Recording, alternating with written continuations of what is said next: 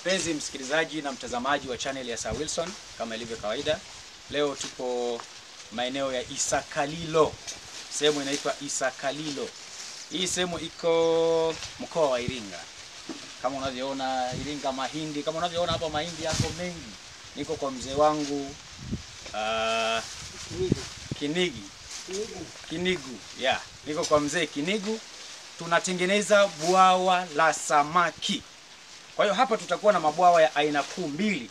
La kwanza ni hili ambalo nalotengeneza hapa, kuna mbao hizi nagonga, lakini pia la pili ni hapa tulipo. E, hapa niko ndani ya bwawa pia. Huu ni msingi wa bwawa, lakini bwawa hili pia litakuwa ni bwawa la kujengwa. Hili ni bwawa la turubai, lakini hili ni la kujengwa.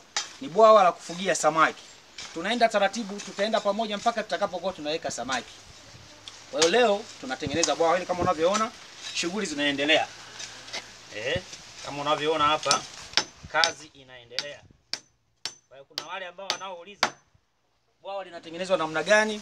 Kwa hiyo ukifuatilia hii episode kwenye channel ya Sir Wilson utaona mambo mazuri kabisa mpaka bwawa letu tunaenda kulifunga. Na tutalifunga leo hii hii wala tuchelewe.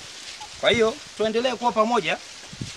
Mm, tuendelee kuwa pamoja ili uweze kupata ujuzi huu mzuri kabisa.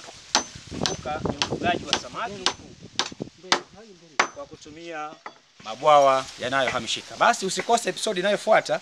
Naitwa Sir Wilson. E, ukitaka kuwasiliana na mimi namba za simu ni 0754 0019 19. Tunaendelea. Usisahau kusubscribe kwa sababu kuna masomo mengine mazuri yatakuja mbele yako. Asante sana, Mungu awabariki. Shalom.